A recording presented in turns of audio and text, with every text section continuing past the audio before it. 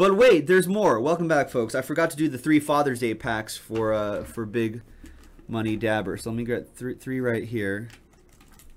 One, two. So there's three Father's Day packs. And you've got a thick one and then two thin ones. Thick one and two thin ones. So let's see what you have in store right here. Good luck, man. Let's save the thick one. You never know what that's going to be.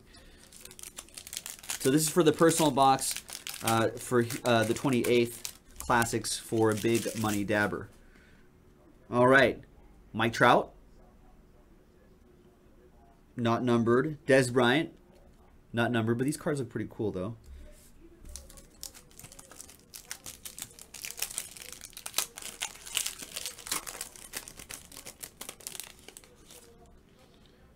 Got ah Tim Howard, Timmy Howard,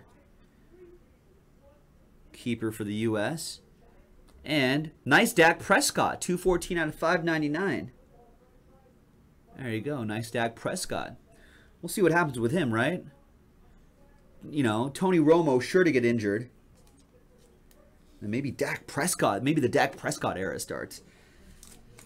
And the thicker pack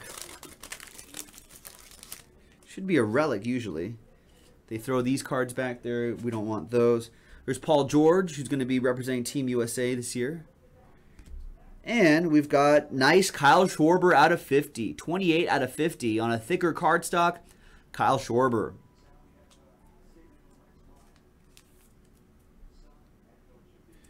There you go, folks.